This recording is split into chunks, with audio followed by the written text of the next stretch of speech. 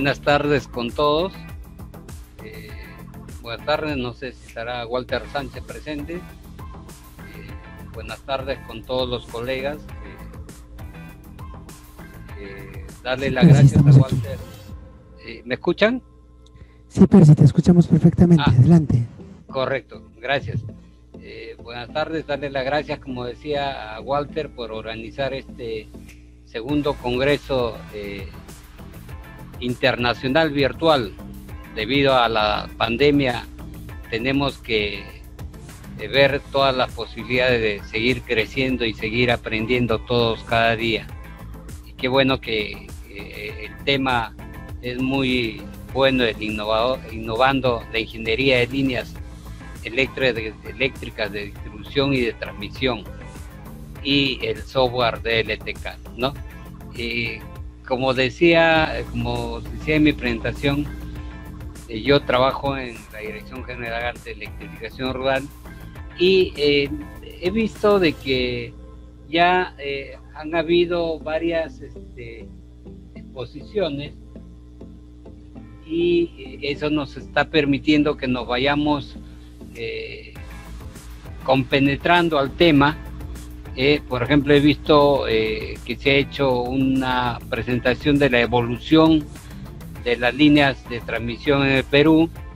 También el ingeniero Bautista ha hecho una exposición muy interesante del campo magnético y su control de proceso de diseño de líneas de transmisión de potencia para hacerle mención nomás, el profesor Juan Bautista fue mi profesor en la Universidad Nacional de Ingeniería y ahora eh, ya puedo compartir algunos conocimientos de parte mía también. Eh, bien, también he visto la exposición de justamente de Walter, que ha hecho una explicación muy buena de, la utilización del software eh, en lo que son líneas de transmisión. En mi caso, eh, voy a hacer, voy a compartir con ustedes lo que son las líneas, las líneas primarias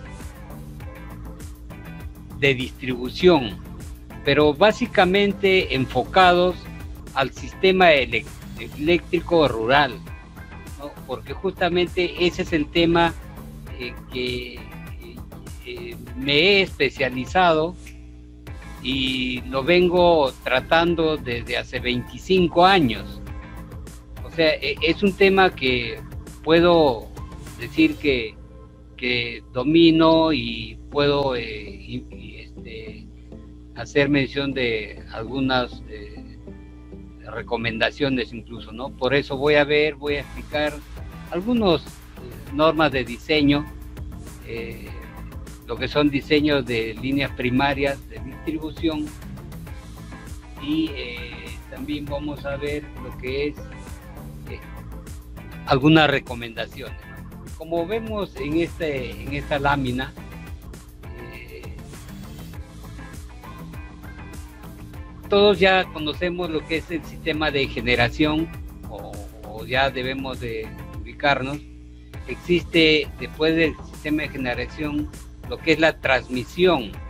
Y justamente el software de que, se está hablando habla de, también de lo que es líneas de transmisión en diferentes niveles de tensión, hasta llegar a un punto donde se habla de la distribución de la, de la energía.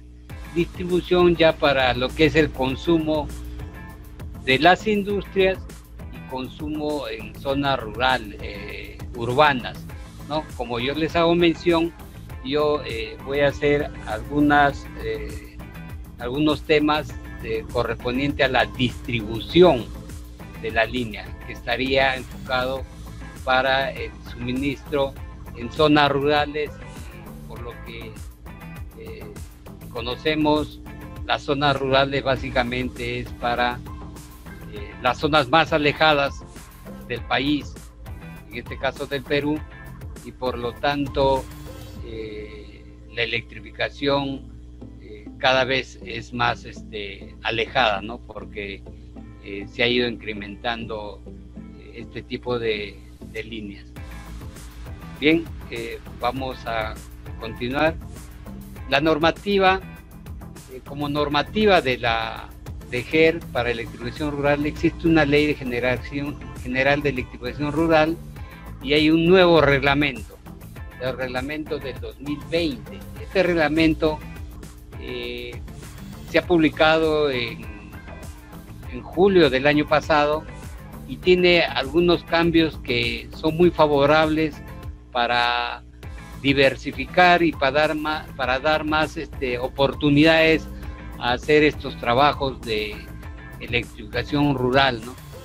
Eh, el diseño de las líneas eh, primarias, que son parte de toda una electrificación rural, voy a hacer mención de quiénes son las entidades involucradas, quiénes son los actores fundamentales para hacer una línea primaria de distribución, consideraciones, actividades previas y algunas experiencias y lecciones aprendidas que nos van a llevar siempre a eh, tener en cuenta para poder hacer eh, buenos diseños de línea de distribución y que tenemos este, el apoyo en este caso de un software que nos va a permitir eh, trabajar este, de forma interactiva y eh, versátil.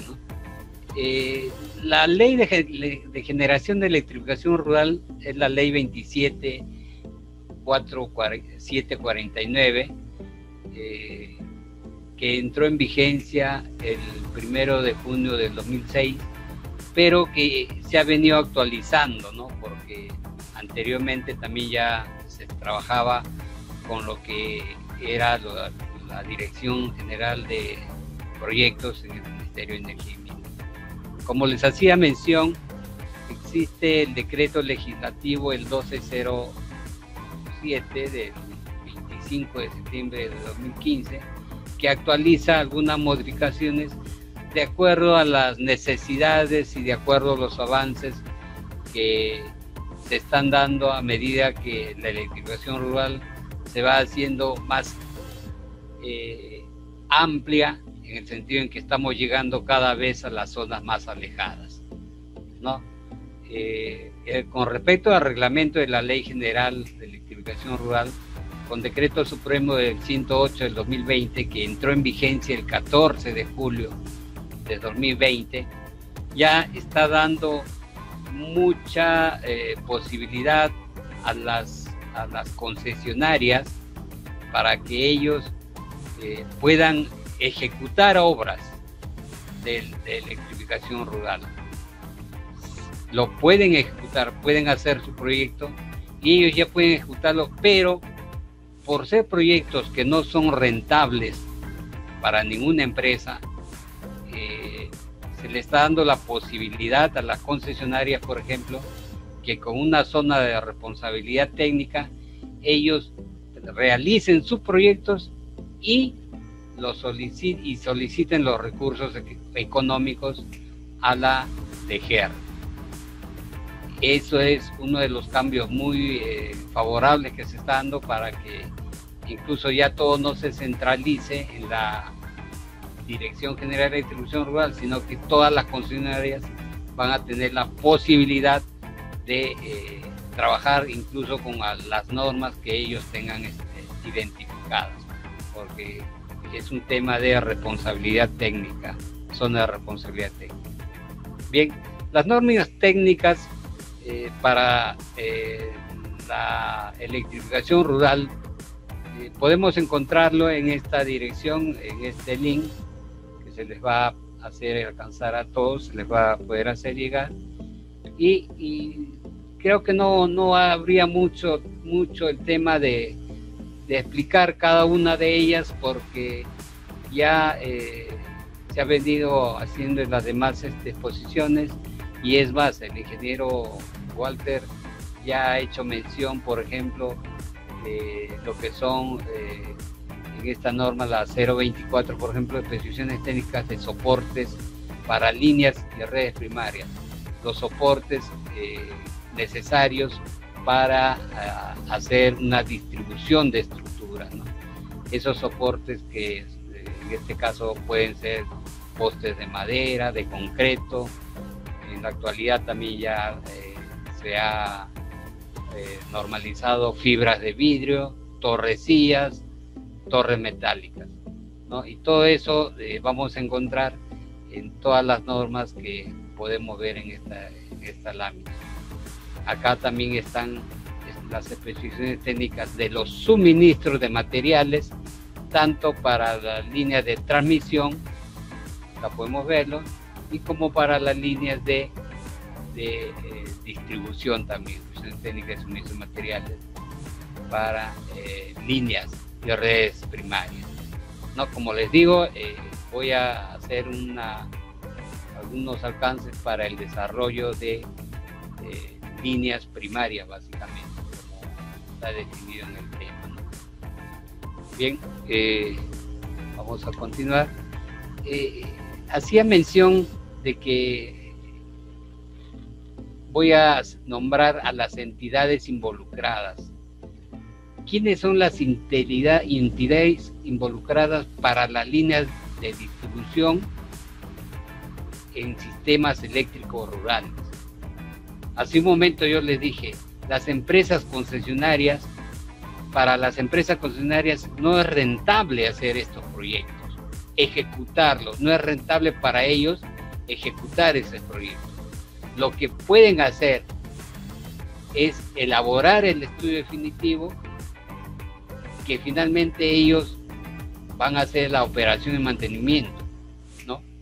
Eh, les decía que la DGER es la que ejecuta estos proyectos, porque acá, eh, por ser una entidad del Estado, ya no ve rentabilidad, sino que cosa eh, está viendo.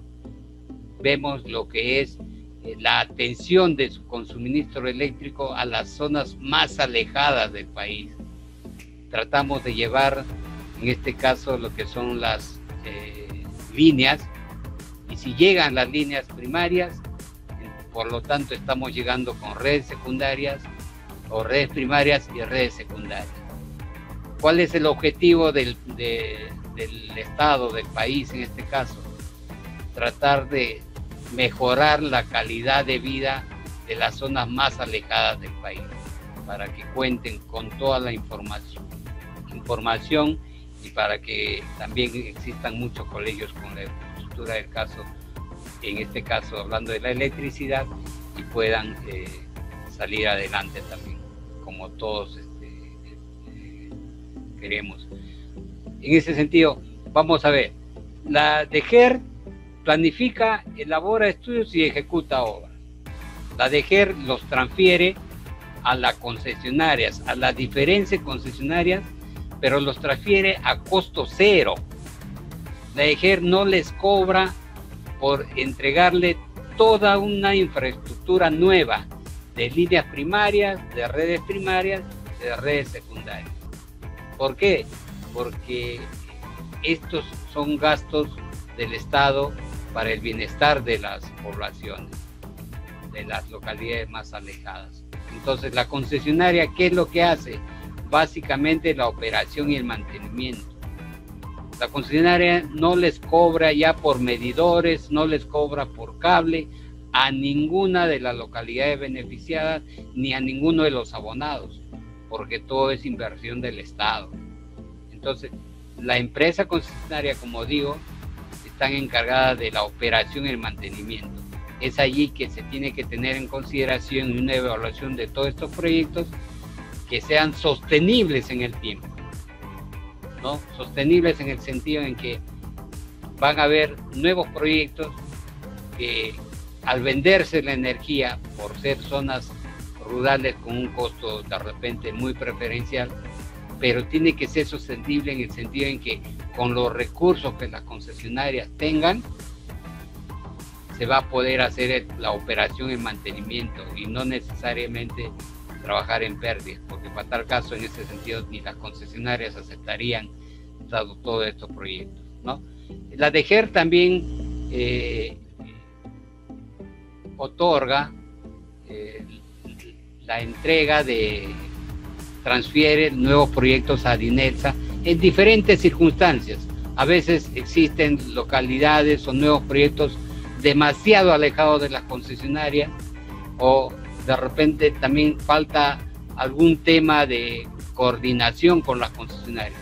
Pero Adinelsa también es una empresa del Estado y considerada una concesionaria. ¿Qué es lo que hace Adinelsa? En el sitio donde llegue, eh, Adinelsa tiene a nivel nacional este, instalaciones. En el sitio donde reciba instalaciones, nuevas instalaciones, ellos contratan la operación del mantenimiento a las, a las empresas concesionarias del sector. ¿no? Una vez que ya se haya eh, levantado y haber hecho las coordinaciones definitivas con las concesionarias, finalmente Adinelsa también se los entrega a las concesionarias para que las concesionarias de cada uno de los sectores sean los responsables. ¿Quiénes eh, y quiénes supervisan, podría decirse, el buen funcionamiento de toda esta línea? La supervisión está a cargo de Osinermin, supervisa y fiscaliza. ¿no? ¿Supervisa qué cosa? Que las instalaciones cumplan con todos los estándares de calidad. ¿Qué es lo que fiscaliza? Que de acuerdo a las normativas que estén vigentes, no se les puede mantener a una localidad que tenga energía, ya con, si hay un problema, salen fuera de servicio, no va a ser factible de que eh, se queden sin servicio uno, dos, tres, cuatro días. Ellos fiscalizan para que el servicio sea repuesto inmediatamente, ¿no? Inmediatamente o de acuerdo a los, estándares que estén manejándose. Eh, también la, eh, OCINER supervisa las municipalidades porque las municipalidades y los gobiernos regionales también pueden ejecutar obras, ¿no? Porque en muchos municipales y muchos gobiernos regionales tienen recursos que se les da por, por diferentes este, eh, actuaciones. Por ejemplo, con el canon minero hay muchas municipalidades que tienen recursos y ellos pueden ejecutar una electrificación rural y para que esto tenga una buena operación y mantenimiento, también ellos tienen el compromiso de entregarlo a la concesionaria. Igual el gobierno regional, los gobiernos regionales. Bien, eh, ¿quiénes son los actores principales, se puede decir, para que eh, se haga el diseño de líneas primarias de distribución? Me faltó la N ahí, distribución se queda. Bueno, eh, ¿quiénes son los actores principales? Como les decía, las concesionarias no, no, es un, no es rentable para los concesionarios hacerlo. Es por eso que la Dirección General de Electrificación Rural es la encargada de ejecutar estas obras. ¿no? Acá hago mención solamente de líneas primarias porque el tema es líneas eh, primarias, pero un sistema eléctrico rural está conformado, nuevamente le digo, por redes primarias y redes secundarias. Bien, la empresa consultora especializada de estudio de líneas primarias es uno de los segundos actores que va a trabajar en lo que es eh, la elaboración de línea de distribución. Y mínimamente esta empresa consultora tiene que contar con un ingeniero especialista en líneas primarias, un ingeniero especialista, geólogo y, geotecnia, un ingeniero también ambientalista y un arqueólogo, porque la definición de un trazo de ruta está enlazado con las tres especialidades. ¿no? Más adelante voy a hacer mención cuáles serían eh, las demoras o cuáles serían los problemas si no se hace la definición de un trazo de ruta con estos especialistas. Con esto ya eh, va a quedar claro de que mucho depende de que los especialistas trabajen de la mano. Eh, también uno de los actores principales es la Dirección Regional de Energía y Minas, lo que es la DREN, de cada una de las regiones del país. ¿Cuál es su función de la DREN? Es dar la resolución de aprobación de la DIA. ¿Qué cosa es la DIA? La Declaración de Impacto Ambiental. Hay algunos proyectos que se estima hacer el trazo de ruta, la instrucción de estructuras, todo eso, y no tienen un saneamiento de la DIA. Esos proyectos no salen, no se pueden ejecutar, porque tenemos que cumplir con todos los eh, parámetros y todos los eh, eh, documentos que nos solicita para ejecutar. ¿no? Ahora, la DIA, no solamente ellos reciben la documentación y ya este, tienen que aprobar la resolución, ellos también tienen que ver si de una u otra forma estos nuevos trazos de ruta están pasando por zonas de amortiguamiento o por zonas de áreas protegidas. ¿no? Si pasa esta línea por zona de amortiguamiento, entonces la DREN tiene que hacer una solicitud de opinión favorable o no al CERNAM para que el CERNAM les diga si es factible o no es factible que entremos por esa zona de amortiguamiento. Lo que sí no es factible, entrar al Servicio Nacional de Áreas Protegidas. Pero sí podemos entrar a la zona de amortiguamiento, ¿no? También tenemos la participación del Ministerio de Cultura en cada una de sus áreas descentralizadas, también en cada una de las regiones, las que son eh, los responsables de otorgarnos el CIRA, el documento de inexistencia de restos arqueológicos. Un documento muy importante porque eh, tenemos que eh, tener cuidado con las zonas arqueológicas en, el Perú. Es más, si hablamos de arqueología, por ejemplo, yo les hago mención en el Cusco, como ya conocemos hay muchos lugares arqueológicos y hacer un proyecto ahí también se necesita la aprobación del Ministerio de Cultura. En Cajamarca también hay muchos sectores arqueológicos. ¿no? Y finalmente el actor, uno de los actores también es la concesionaria eléctrica, porque para que nosotros hagamos un proyecto necesitamos una factibilidad de la potencia. ¿no? Entonces tenemos que indagar con las concesionarias existe o no existe eh, potencia como para hacer nosotros lo que es el proyecto. Una vez que exista, eh, sea positivo esa pregunta, ya tenemos que hacer las coordinaciones para que nos definan los puntos de diseño, ya de acuerdo a eh, los lugares y el entorno donde eh, vamos a ver ahorita lo que son las consideraciones y actividades previas al diseño. Como les decía, la DGR ejecuta los SER. Antes se llamaban pequeños sistemas eléctricos, ahora eh, se llaman los sistemas eléctricos rurales, bajo los criterios de rentabilidad social, sostenibilidad, mantenimiento de calidad del servicio eléctrico concordante con la norma técnica de calidad de los servicios eléctricos rurales.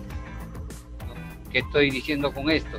De que por más que sea una zona rural, nosotros no les vamos a llevar energía de mala calidad. Tenemos que llevar una calidad de servicio eléctrico.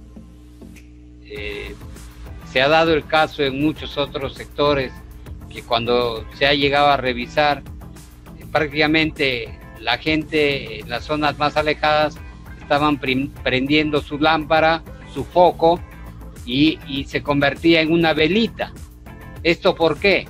Por la mala calidad en el caso de la caída de tensión. Entonces, ahora con esta norma, nosotros tenemos que eh, entregar una calidad de servicio eléctrico.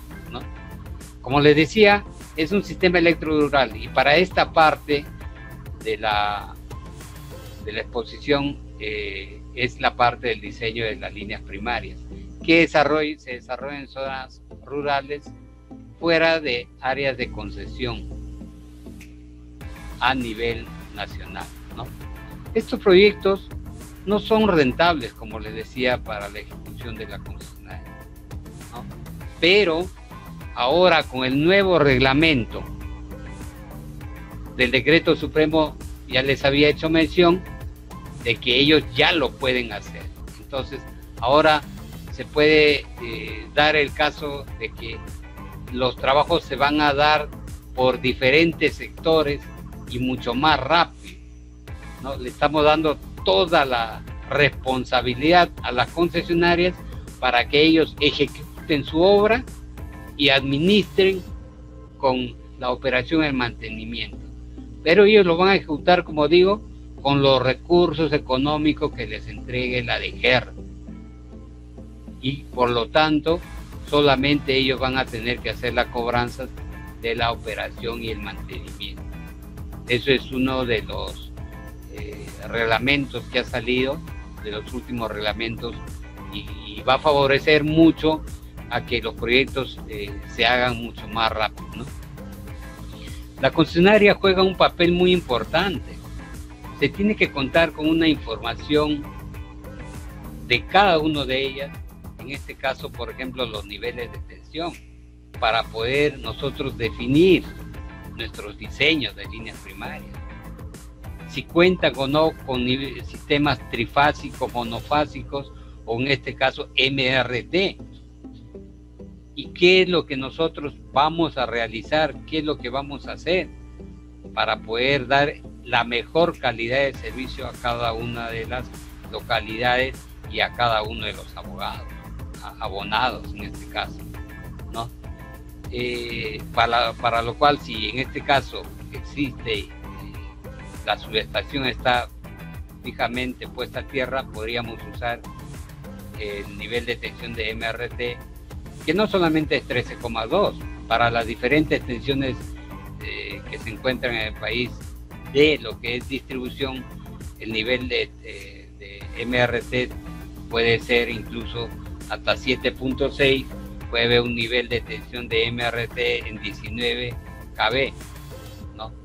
La factibilidad de potencia es la que tenemos que ver también de acuerdo a la visita de, las, de la concesionaria, si cuentan o no con una coordinación de protección y balance de carga.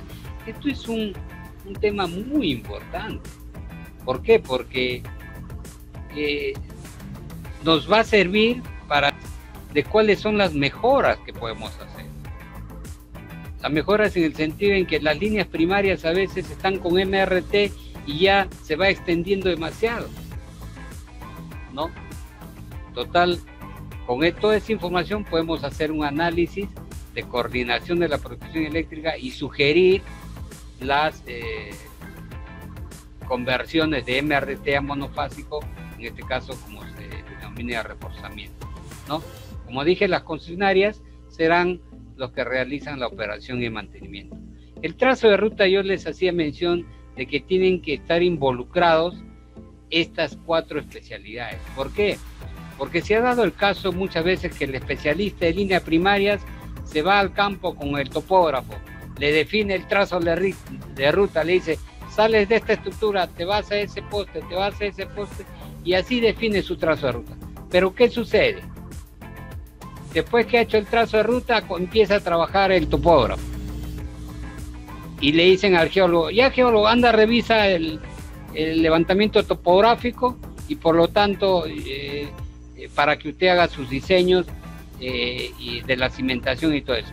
Pero ¿qué sucede? Sale el geólogo y al, al, momento que hace la revisión de todo el trazo de ruta se encuentra de que hay zonas inestables. Hay zonas donde hay taludes que no son, como vuelvo a repetirse, no son inestables. Entonces, ¿qué dice el geólogo? No puede ser el trazo de ruta por acá. Ustedes, como saben, el, topógrafo va a decir, no, el ingeniero especialista en línea me ha dicho que lo haga por acá. En ese sentido, el geólogo tiene que pedir la presencia del, del, ingeniero especialista en líneas primarias y por lo tanto hacer el cambio de trazo, porque el geólogo es el que conoce el terreno. Y él va a hacer incluso el estudio de, geología, él va a hacer las calicatas y todo eso, ¿no? Y nuevamente viene lo mismo. A veces el especialista en línea no cuenta con la asistencia en su momento del ambientalista ni del arqueólogo. Y cuando sale el ambientalista y cuando sale el arqueólogo, se encuentran con las mismas observaciones. ¿Qué sucede en ese sentido? nuevamente hay que, ya, hay que hacer el cambio de trazo, porque el ambientalista puede decir, no, aquí hay zonas eh, de reservas naturales y no puede pasar la línea. Hay que hacer un trazo distinto para pasar por zona de amortiguamiento. Y, esos temas, y, se los hago mención porque se ha presentado mucho esto en la elaboración de estudios definitivos y en las líneas primarias que presentan a la Dirección General de Legislación Rural, ¿no? Finalmente a veces va el arqueólogo y dice, no, eso es un sitio arqueológico, ¿cómo van a pasar por ahí? Entonces, el tema es para que haya un buen diseño en su tiempo adecuado y no en el tiempo que, tengamos todo listo eh, después que vayan cada uno de los especialistas, sino en su tiempo adecuado, es bueno que los cuatro especialistas salgan y hagan su trazo de ruta.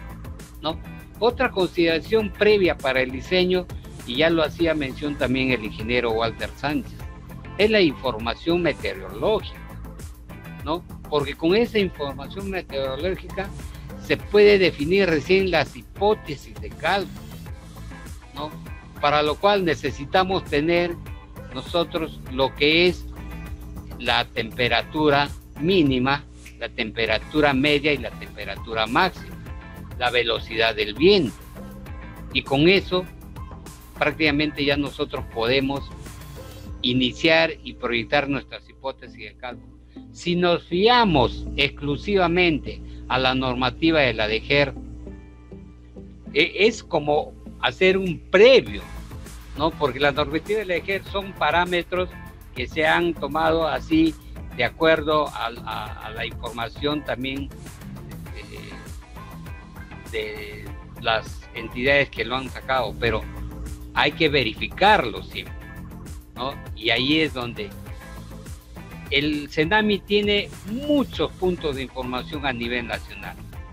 Es por eso que dentro de la, una de las eh, obligaciones para los especialistas de líneas primarias se les solicita que tienen que adquirir lo que son eh, la información meteorológica del CENAMI.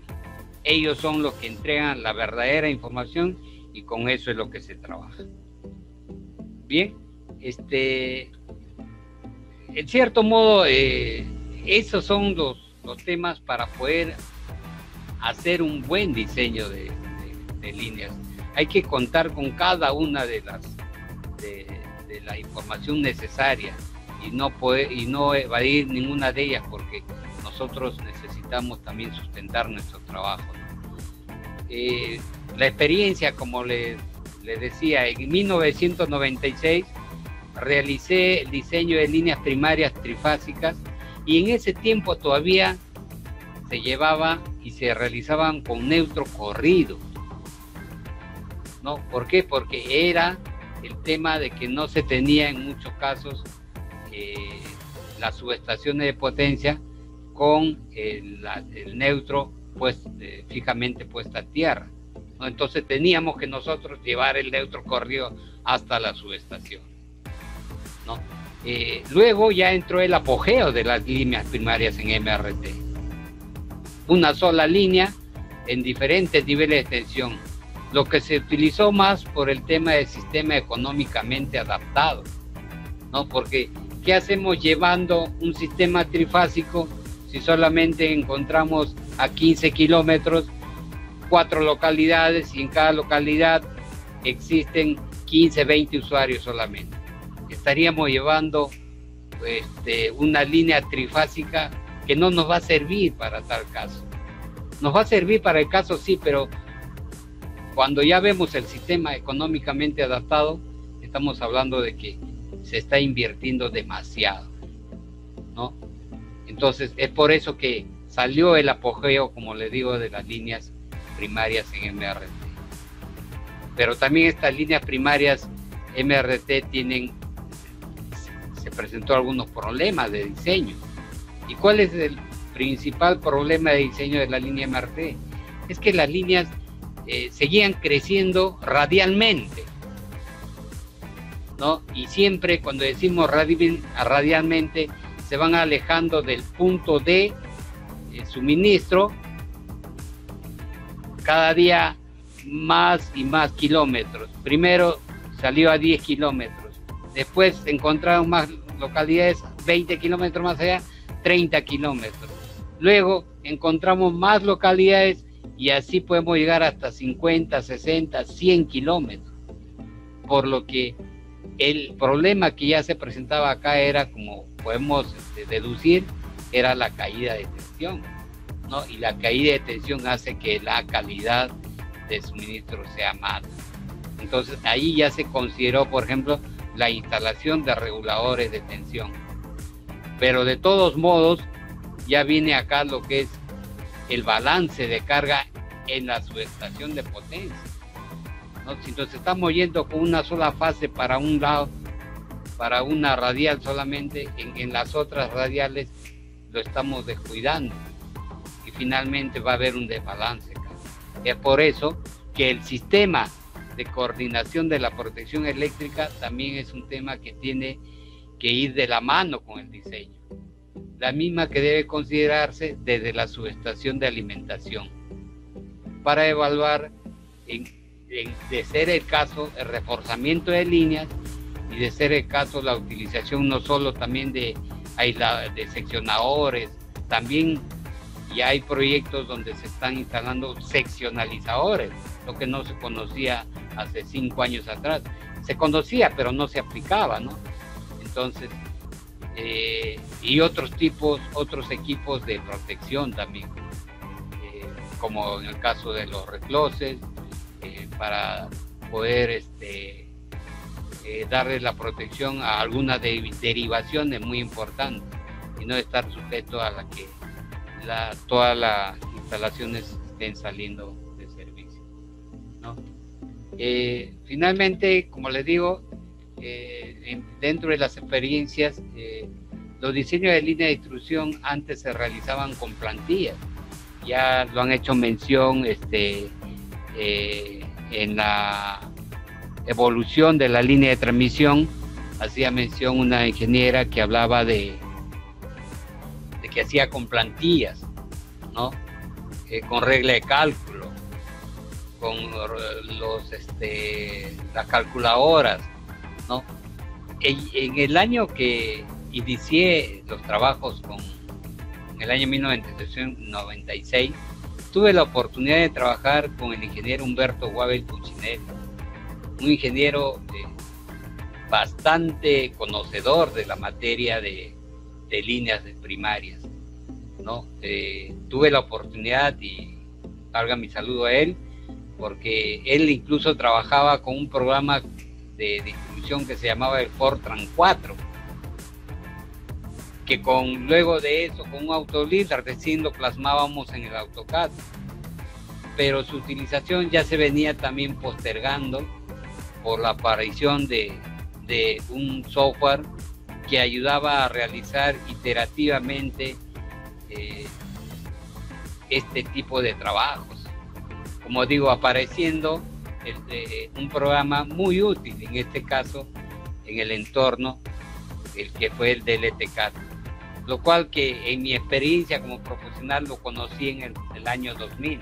Estamos 2021 y todos hemos visto, y los que ya lo conocemos, que este programa ha venido actualizándose.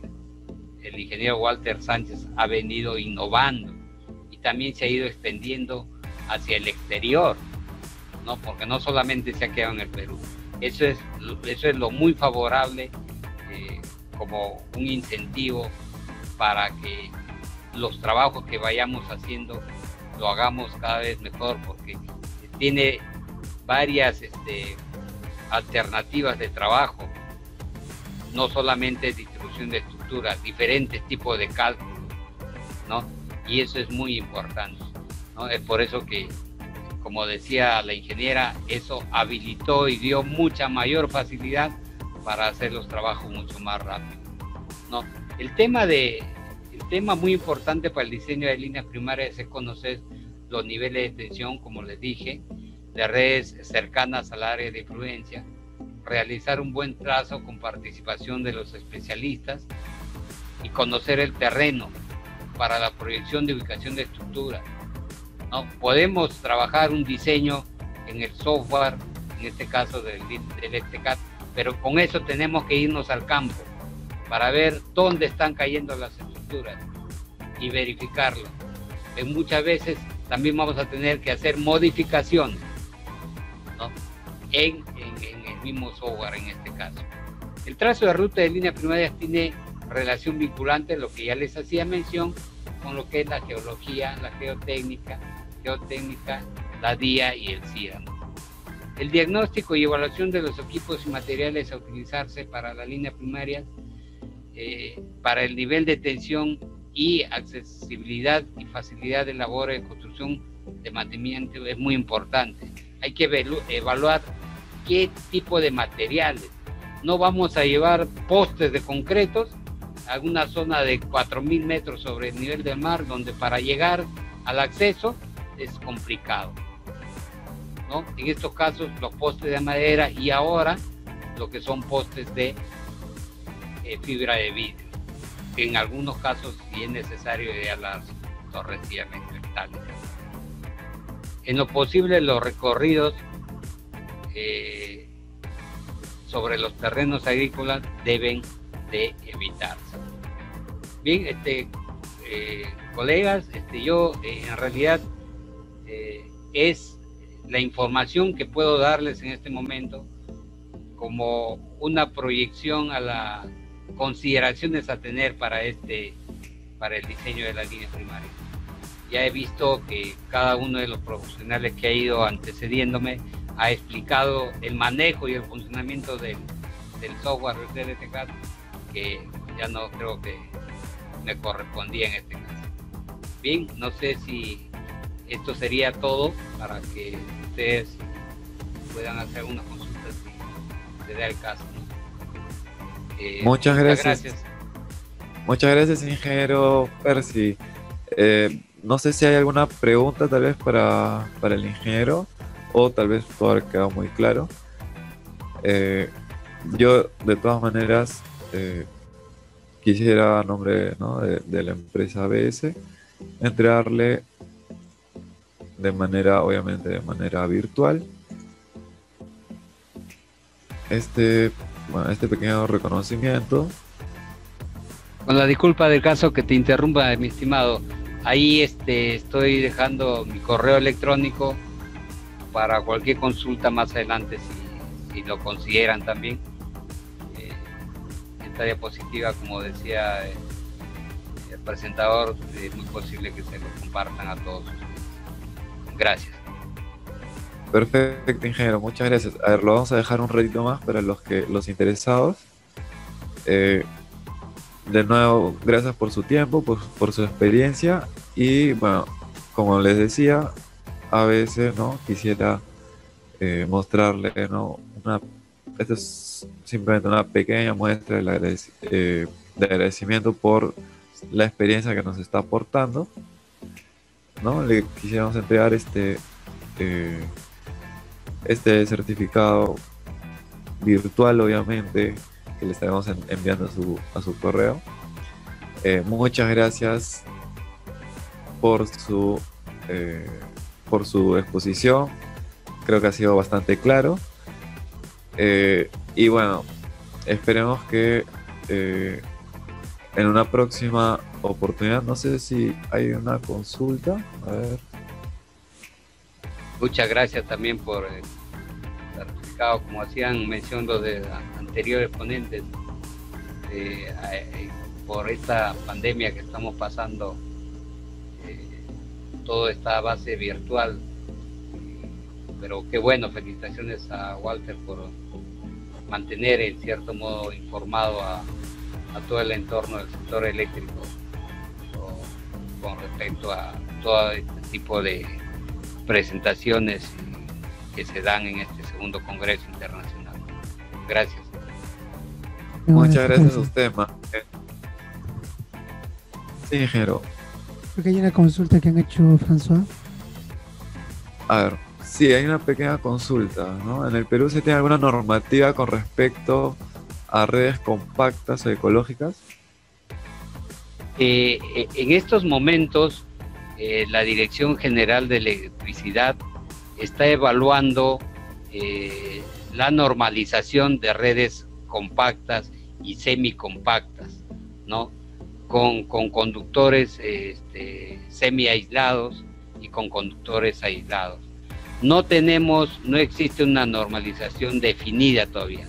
Ya se está evaluando proyectos, existen en algunas este, concesionarias la, están haciendo experimenta, están experimentando, pero como eh, eh, de GER todavía no se tiene normalizado. Ok, aquí hay otra consulta. En el caso de que la línea primaria tenga que pasar por un terreno agrícola, ¿se puede comprar el espacio para que se haga el trazado? Bien, eh, en realidad toda la línea primaria que se haga, eh, como les decía, por ser rural va a pasar por múltiples terrenos, agrícolas, en muchos casos terrenos este, agrestes, pero la línea primaria para que se pueda ejecutar y pueda entrar en funcionamiento, tiene que tener con una eh, gestión de servidumbre, ¿no? Se paga una franja de servidumbre, pero no se compra el terreno. Hay que tener en claro eso. Se hace una gestión de servidumbre para poder trabajar y para que se pueda hacer mantenimiento. El terreno le sigue perteneciendo a los propietarios. De todos modos, para pasar por una zona agrícola también se tiene que prever no hacer no tener, no hacer muchas no perjudicar mucho a las, a las diferentes este, personas que tengan sus terrenos. Eso sí tenemos que tener muy en claro. Pero se hace una, un saneamiento de la franja de servidumbre. Ok. Eh, a ver, unas consultitas más. Eh, nos pregunta aquí el ingeniero Luis Sánchez, ¿en qué casos la DGER requiere estudios de geología como parte de solicitudes de financiamiento. Eh, en realidad, el estudio de geología tiene que ir acompañado de la línea primaria. El estudio de geología, eh, porque no podemos nosotros validar una línea primaria si no tiene un sustento de la ejecución del proyecto en un terreno estable. ¿no? De igual manera es con el, tema de la DIA y con el CIRA. En una oportunidad, el proyecto, se, inició un proyecto sin haber hecho, sin tener eh, la aprobación de la DIA, por ejemplo. Y en este caso, el Ministerio del Ambiente, por más que sea una entidad del Estado, tuvo que aplicar una penalidad a la de GER también, porque tenemos que tener todo saneado, todos los documentos y poder eh, ejecutar la obra. Y en el mismo caso, si hacemos, si, vuelvo al tema de usted que me hace mención de geología, eh, ahí ya sería un tema de retraso, ¿no? ¿Cómo hago un diseño que al final voy a tener que estar cambiando de trazo de ruta? El tema de geología es muy importante para estos casos. Perfecto. Este, a ver, Ángel Poma Fernández pregunta, bueno, es tal vez un poquito subjetivo, pero nos pregunta, ¿es mejor utilizar líneas compactas o eh, conductores desnudos? Eh, estos, estas líneas compactas se están probando y se están eh, evaluando las normas de, de electrificación básicamente para las zonas de selva, ¿no? ¿Por qué? Porque son las líneas compactas, al ser aisladas, eh, no tienen el problema de acercamiento de fases.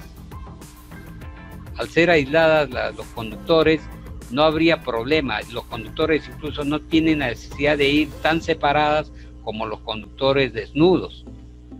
¿no? Entonces, ambos sistemas van a ser, van a estar siempre disponibles pero en las zonas de selva, en las zonas donde haya zonas así, montes, y tengamos que pasar por la parte baja, ya no va a haber la necesidad de hacer una franja de servidumbre tan apegada. Ahí va a modificarse incluso el tema de franja de servidumbre, porque ya no va a haber problema de, conductores, de que los sistemas estén saliendo fuera de servicio.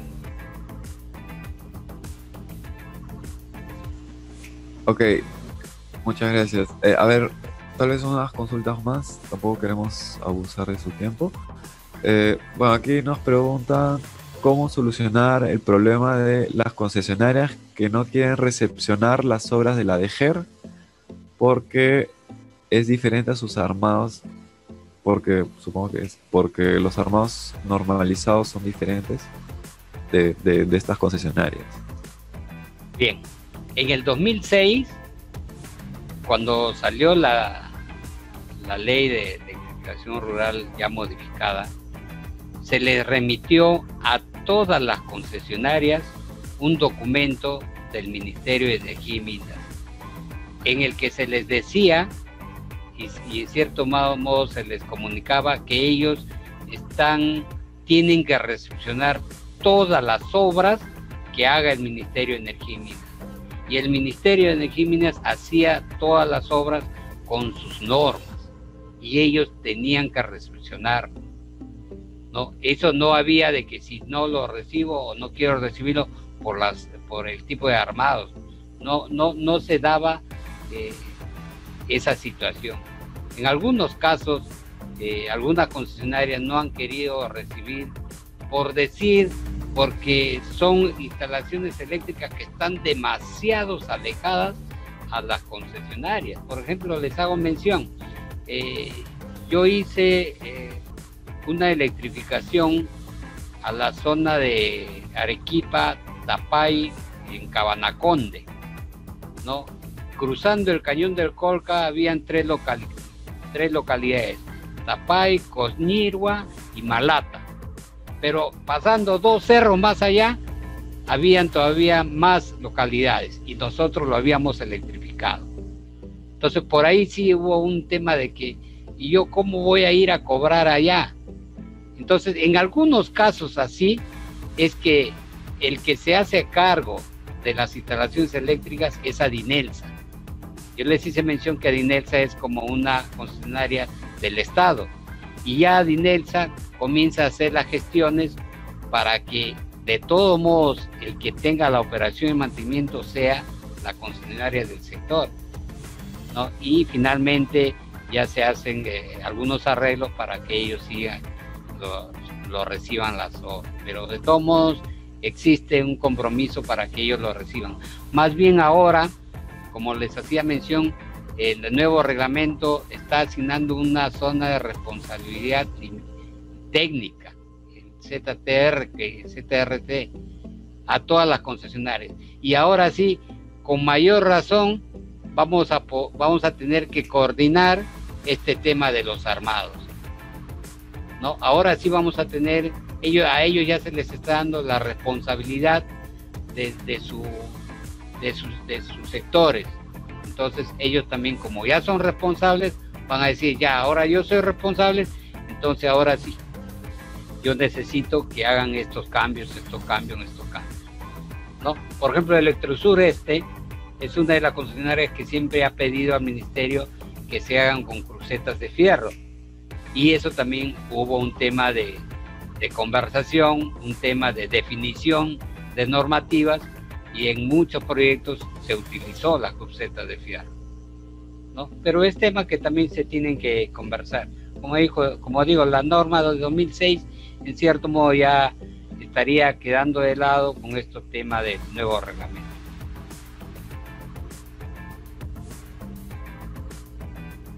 Ok, bueno, hay bastantes preguntas. Hay algunas que son tal vez un poco más eh, personales. Creo que, bueno, el ingeniero eh, Percy Suárez ha dejado su correo. Eh, ahí, no sé si puedan hacer las consultas un poco más este, detalladas, tal vez. Eh, vamos a ver unas últimas, pero realmente las últimas, porque si no ya estamos con el tiempo.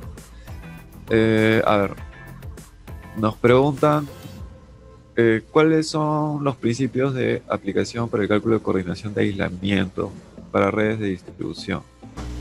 Los criterios de diseño, supongo, ¿no?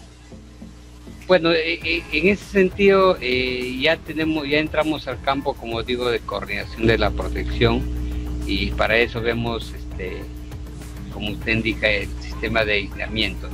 Eso depende mucho también de la información que nos alcancen, nos alcancen las concesionarias y tengamos que hacer la evaluación de los niveles de tensión ¿no? y también este, los niveles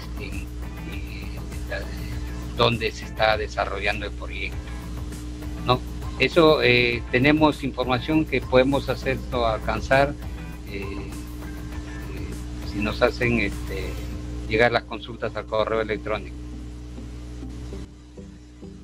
Sí, yo creo que este eh, ahí hay más preguntas.